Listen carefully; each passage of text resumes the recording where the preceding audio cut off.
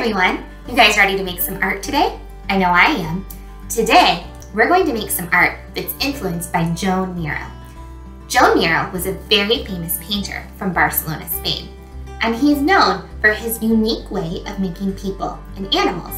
He used very open and curved shapes to help make his different people and animals. A lot of people compare his paintings to poems because they make you feel a lot of emotions with just very simple shapes and colors.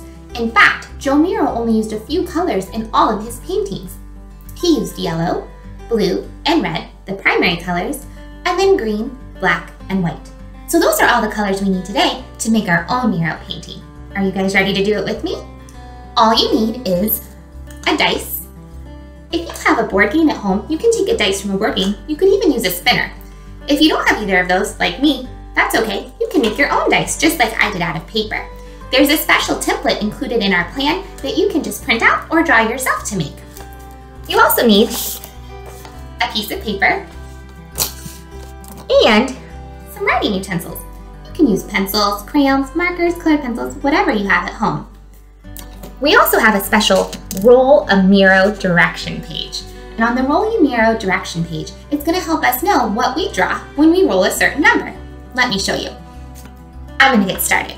I'm gonna start with what body shape I want. So I'm gonna get this, I'm gonna go roll. I got a three. If I look on my Roll a Miró direction page, it says I need to do a, hmm, a triangle with some lines at the bottom. So it's gonna look just like this. Then I get to make my head shape. I'm gonna roll again and see what shape I come up with. Think you can do it? Pretty easy. You can make as many Miró paintings as you can, and you can color them in any way you want. Have fun!